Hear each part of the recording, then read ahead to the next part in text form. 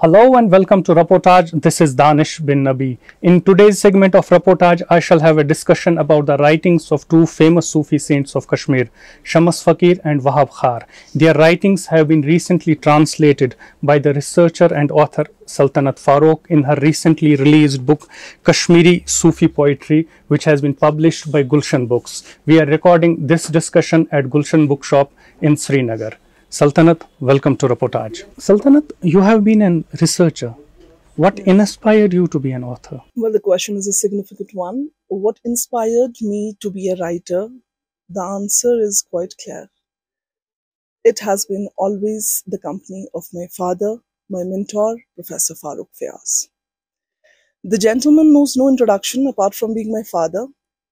He's a well known orator, historian, writer, poet, critique, and uh, having him obviously at my home as a father and then as a mentor seeing him and analyzing his love for books writing staying in his company being in his library that basically paved a way for me to love books from since my childhood.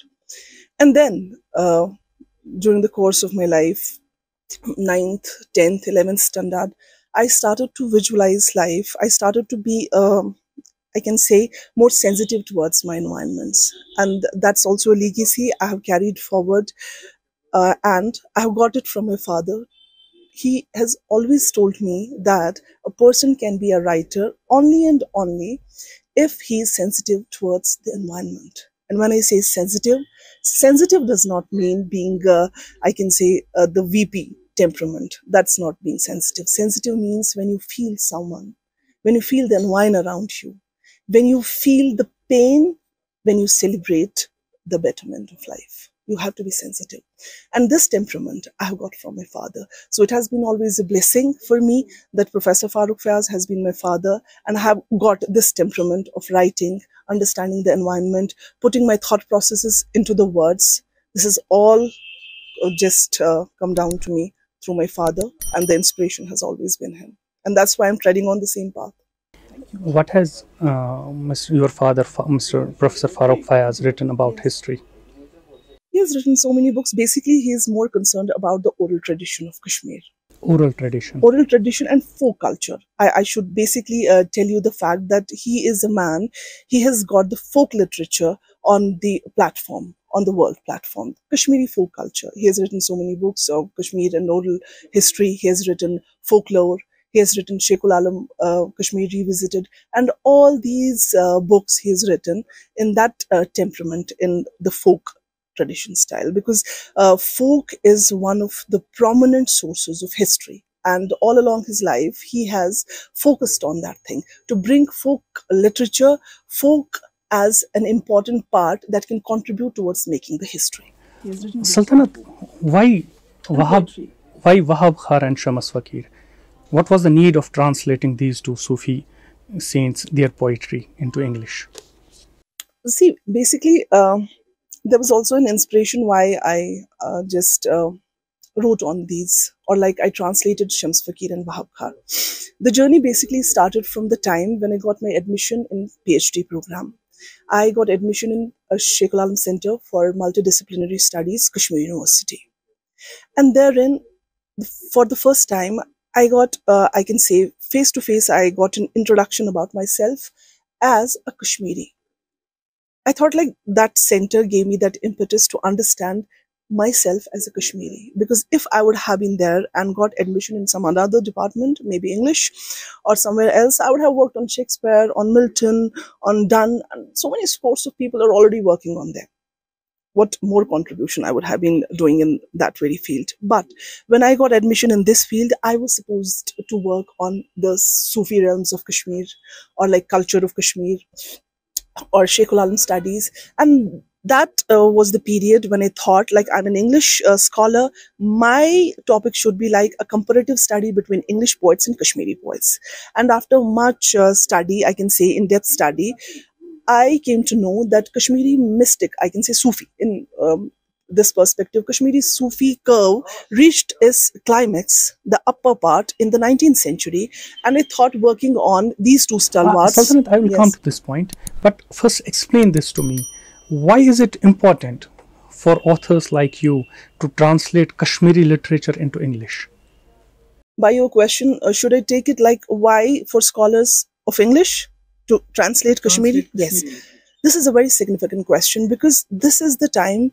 See, we all are Kashmiris. You are Kashmiri. I am Kashmiri. We have love for our mother tongue. Leave that aside. But uh, let's come over to the rational analysis. The rational analysis says that Kashmiri, irrespective of the fact that we love our language, it's a regional language.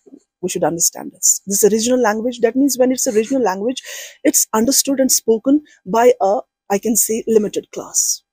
So that limited class should not act as a handicap for stalwarts like these to be understood or misunderstood by the people.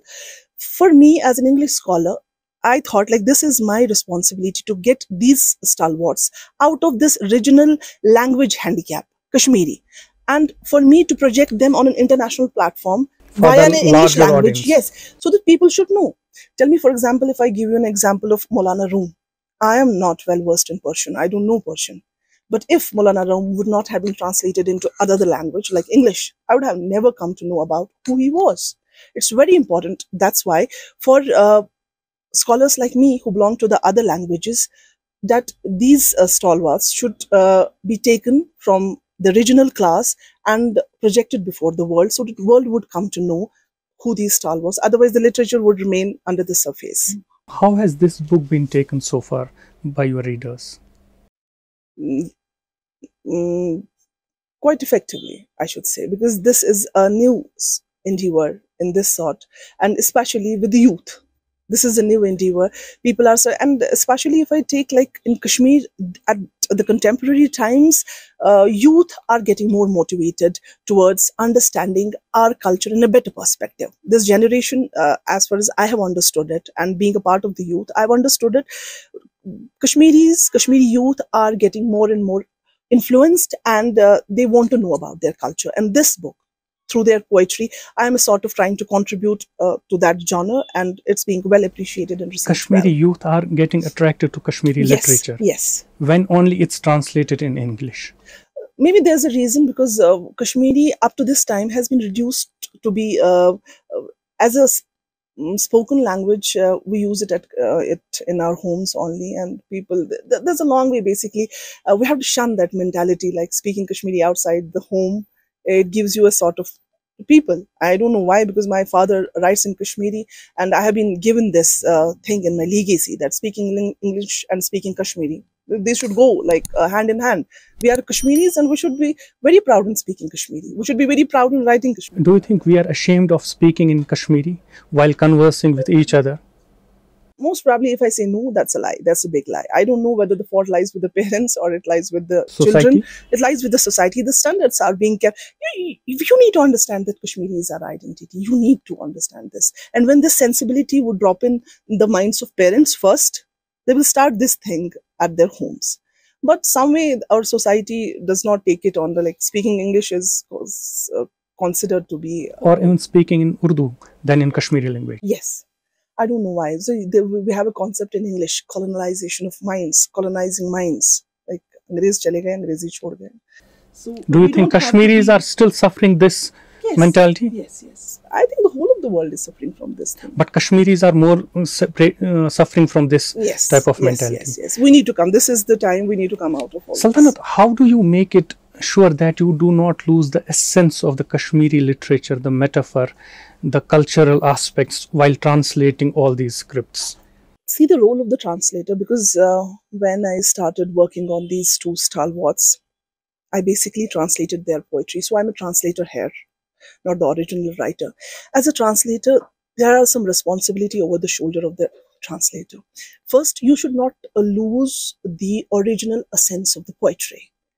But as a translator, I also came to know that when words flow from your pen, something changes. At least the outer apparel, the body remains the same, the outer apparel you change.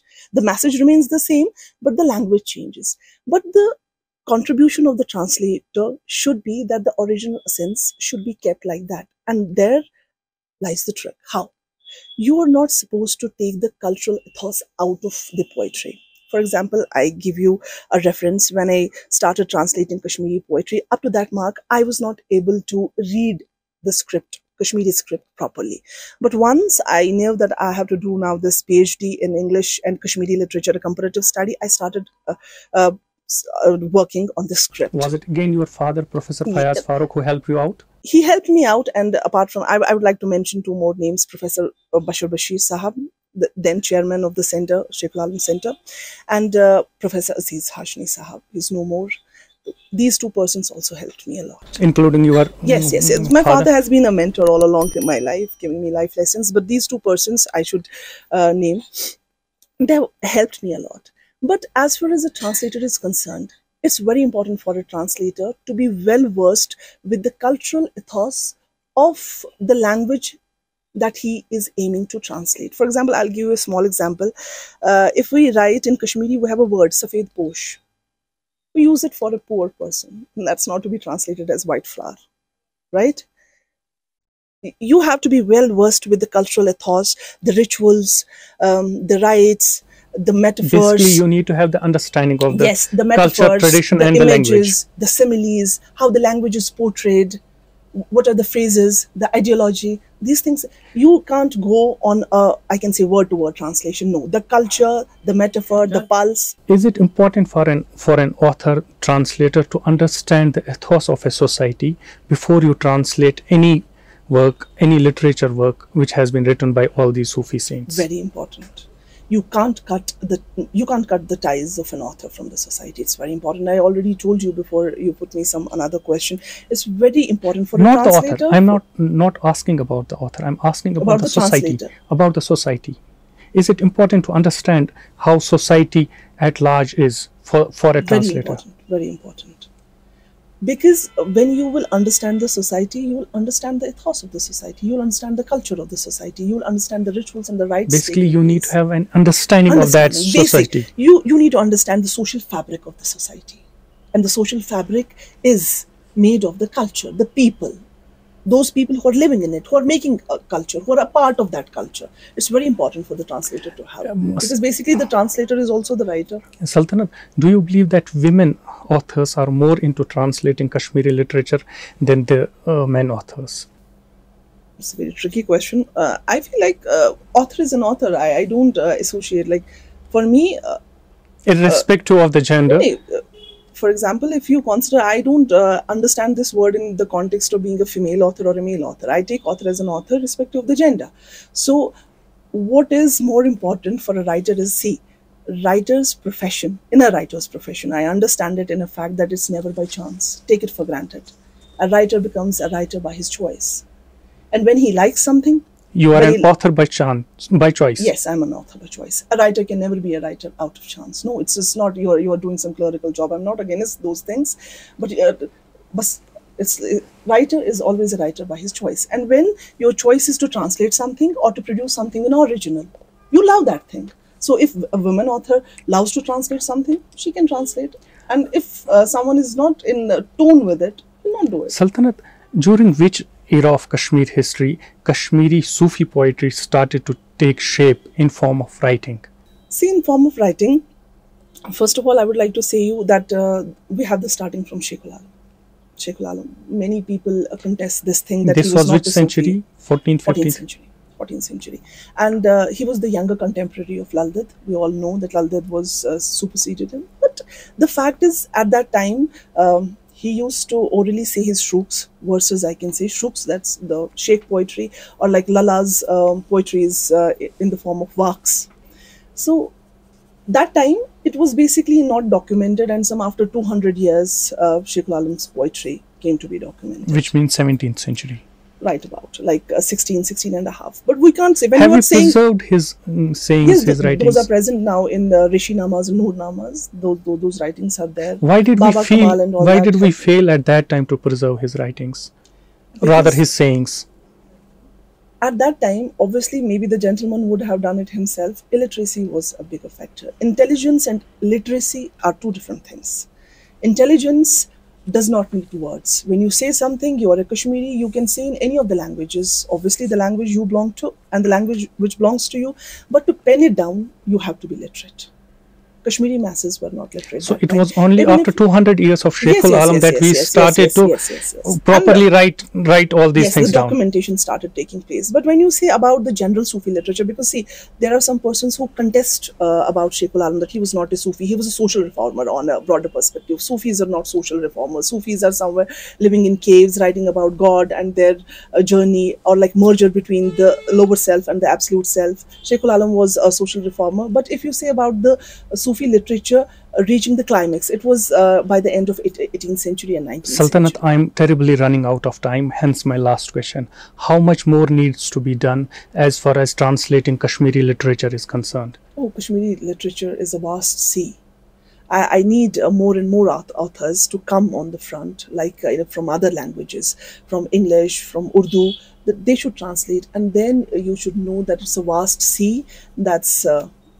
Uh, the sea is uh, still under the cover. When you'll come over to know that uh, it's a literature, uh, 700, 800 year old literature. And if you start uh, translating it, it will, it will take much, Sultanat, much time. we hope you are able to get more authors on your side. Thank you for talking to Thank you. Reportage. Thank you. so much. Please subscribe to our channel Reportage and press the bell icon to remain updated.